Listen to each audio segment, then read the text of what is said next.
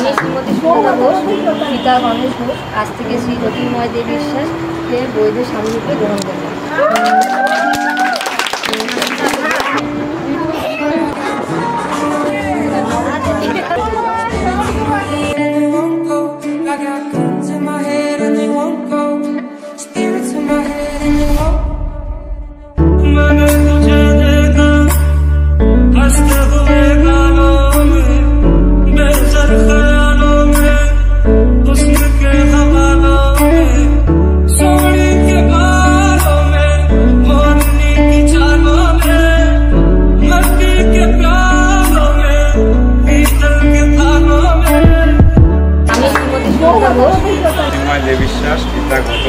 বিশ্বাস। পিতা গণেশ ঘোষ আজ থেকে শ্রী রবি মহাদেব বিশ্বাস বিশ্বাসকে বৈধ স্বামীকে গ্রহণ করে